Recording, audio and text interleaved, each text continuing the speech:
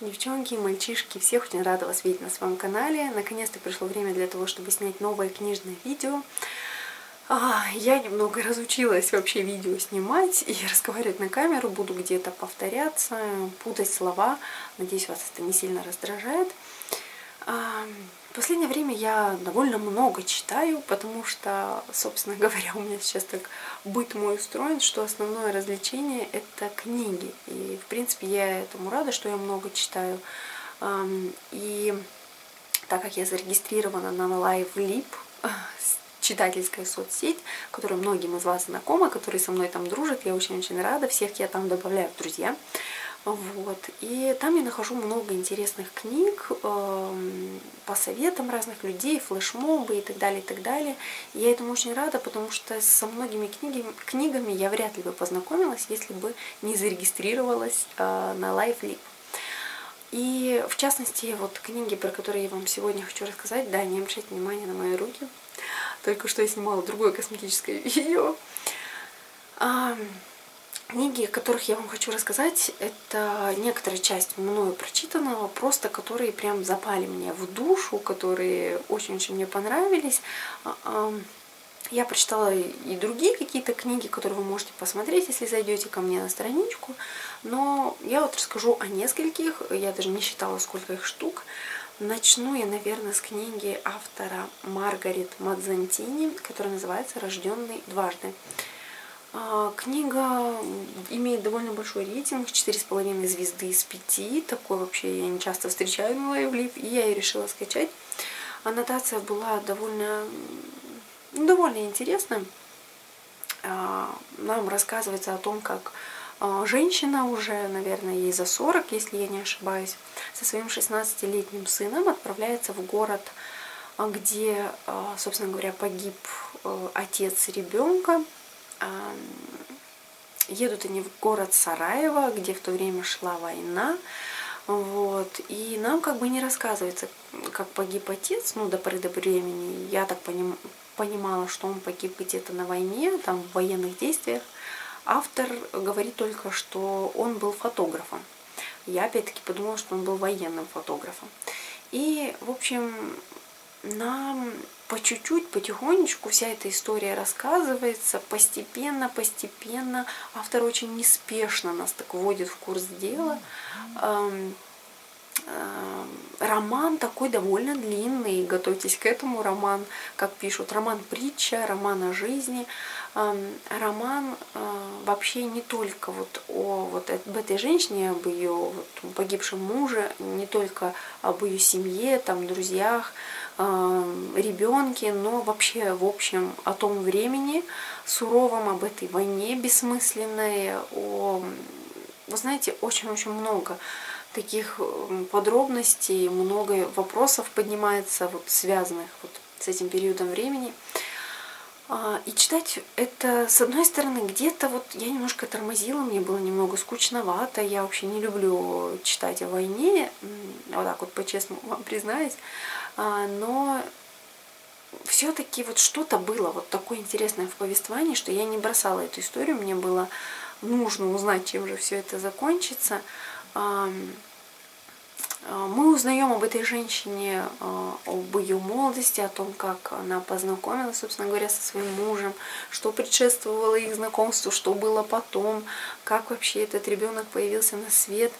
А, история, можно сказать, душераздирающая, особенно не банальная концовка, как по мне. То есть я такого конца не ждала. Я вообще вот, судя по характерам героев, думала, что вот, ну, как-то так вот все кончится, как я вот уже и думала, и эм, сделала уже определенные выводы, не очень хорошие о героях, но книга кончилась совсем не так, и для самой главной героини концовка тоже была неожиданной, то есть концовка ее путешествия была очень для нее неожиданной. И вот ради этой концовки, наверное, стоило читать всю книгу. Почитайте. Это действительно что-то такое, ну, по крайней мере, как мне кажется, новое. Это заслуживает внимания, это заслуживает того, чтобы какие-то разбередить чувства в вашей душе, которые мы иногда прячем поглубже, сострадание, там, жалость, а, еще какие-то более глубокие переживания. Да, есть там такие довольно шокирующие подробности, неприятные, но, тем не менее, иногда нужно их читать, чтобы не очерствить душой. Так что я очень советую роман, роман Маргарет Мазантини «Рожденный дважды». Почитайте и потом поделитесь своим мнением. Дальше моя любимейшая, наверное, книга теперь на данный момент, ну, одна из любимейших, а, которая называется «Ночное кино», автор Мариша Песл. Даже не знаю, как начать вообще разговор об этой книге. Тоже я ее нашла на Лайвлибе по отзывам. И когда я ее начала читать, я, во-первых, очень рада была, что нашла ее в электронном формате. А, она тоже очень объемная. Мне очень понравился как бы не заголовок, господи, я уже забыла, как называется, а, описание книги мне очень понравилось. Книга как бы повествует нам о том, что есть такой режиссер, которого зовут Станислав Кордова, а, очень известный, очень популярный режиссер, который снимает кино в жанре триллер. И, а, в общем, он уже как три, э, на тот момент, как мы включаемся в книгу, уже 30 лет как не появляется на публике, не снимает новое кино, и даже его старое кино достать очень сложно, как-то, в общем, его показывать на каких-то тайных ночных просмотрах. И это не просто кино, это какие-то фильмы откровения, знаете, после которых люди там где-то переосмысливают свою жизнь. А, но тем не менее это триллеры, это не какие-то драмы, это не какие-то психологические фильмы. Вот. И есть журналист, который зовут Скотт Макгрет, который считает нужным, он журналист, считает нужным вывести этого режиссера на чистую воду. Слишком много в его биографии белых пятен, слишком странное, слишком страшное у него кино. А, вот. И э, так вышло, что его попытка вывести режиссера на чистую воду не увенчалась успехом, наоборот, его журналистская карьера рухнула в тартарары. И на тот момент, когда это все происходит, единственная дочь этого режиссера погибает. Не то, что погибает, а кончает жизнь самоубийством. Ее самоубийство выглядит очень странно, и журналист Скотт Магрет решает как бы расследовать ее самоубийство, понять, к чему тут что, откуда, как говорится, ноги растут, и выйти таким образом на этого известного режиссера и свое имя, а, в общем, обелить и восстановить свою потерянную репутацию. Ну, это вот есть так вкратце о книге. На самом деле, конечно, книга э, шикарная, на мой взгляд. В ней есть все. Э, она и таинственная, она и мистическая, она и психологическая, и где-то есть и комедийная. Но вот знаете, я реально как будто погрузилась в нее, то есть как будто я смотрела какое-то кино очень увлекательное, меня в голове возникали картины. Плюс к тому очень хорошо, что в электронной версии есть как бы такие вставочки из как бы газетных как будто вырезок, какие-то фотографии. То есть вот мы читаем, например, что Скотт Магрет нашел такую-то газетную вырезку и изучает ее. И следующая страничка это вот прям сама эта газетная вырезка, и, так, и это очень интересно. Э, кажется, как будто вы прям находитесь внутри книги. Мне это очень-очень понравилось. Я, ну, можно сказать, первый раз встречаюсь с такими вот иллюстрациями. Это замечательно. Вот. И сама книга не то чтобы... Да, в ней есть, безусловно, такая интрига, и сама интрига раскрывается, я бы не сказала, что прям лучшим образом, но вот как-то очень интересно автор переплел, переплел как бы выдумку и реальность, мистику и нашу повседневность. А, мне понравилось. Все равно как бы автор предоставляет э, самому читателю сделать выводы, но очень так тонко, тонко все обыграно. А, я в большом восторге от этой книги. Я не хочу как-то подробно о ней рассказывать, потому что хочется, чтобы вы сами пожили немножко в этой атмосфере.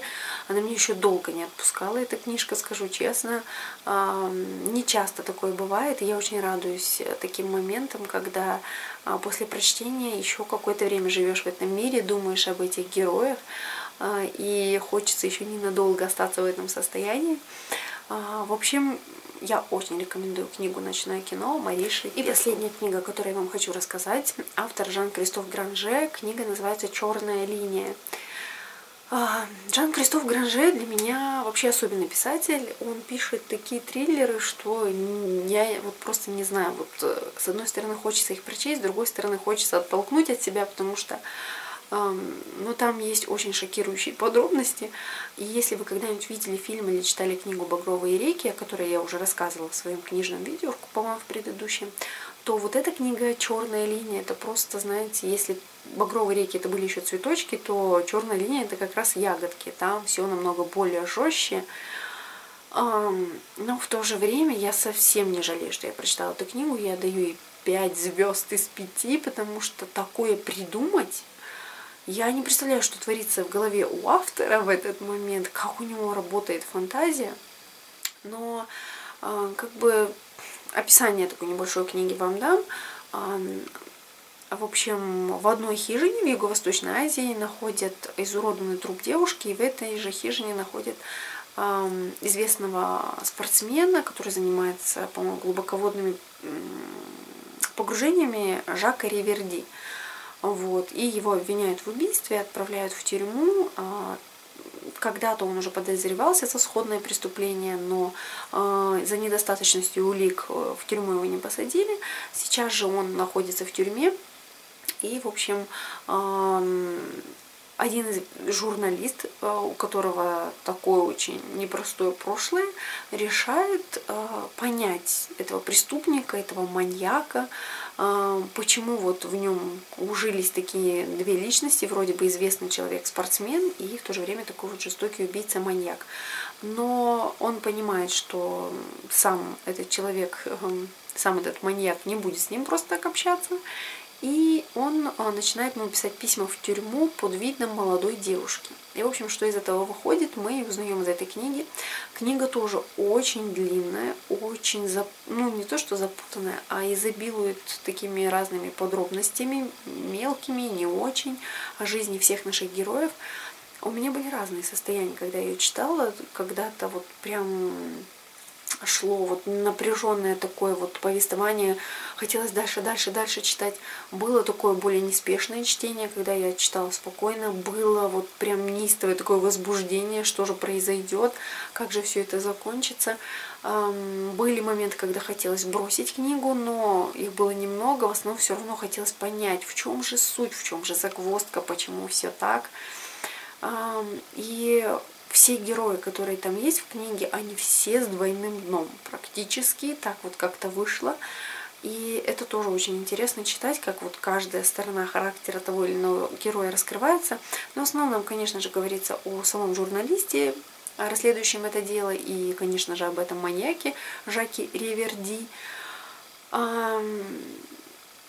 тяжелая книга, реально психологически тяжелая. Просто страшно, что существуют такие люди на свете, и страшно, что они такими, к сожалению, не рождаются, а такими как бы они становятся вследствие каких-то своих жизненных условий. Не знаю, были моменты, когда реально было мне страшно было читать. Такой бы фильм я бы не стала смотреть однозначно, потому что такие фильмы я очень боюсь смотреть, скажем так, но читать было увлекательно, читать было интересно, хоть и очень страшно. Это вот что-то такое привлекательно отталкивающее. Вот, вот эта книга, она прям вот с одной стороны меня захватила, с другой стороны, когда я закончила читать, у меня остался такой вот осадок на душе тяжелый, который тоже меня не отпускал, но я все-таки не жалею, что книгу прочитала, потому что такие эмоции тоже нужно переживать. И мне кажется, что в любом случае что-то эта книга мне дала, а, какой-то опыт. Вот, а, так как триллеры такие я не смотрю, а, но я их читаю зато. И, в общем, я советую любителям триллеров, любителям психологических драм, даже, в принципе, любителям детективов, прочитайте книгу «Черная линия» Жана Кристофа Гранже. Я думаю, вы не пожалеете. Вот, сегодня, наверное, хватит. А, это были мои любимые книги за последнее время, которыми я очень хотела с вами поделиться. Обязательно увидимся еще и очень скоро. Всех была рада видеть и пока.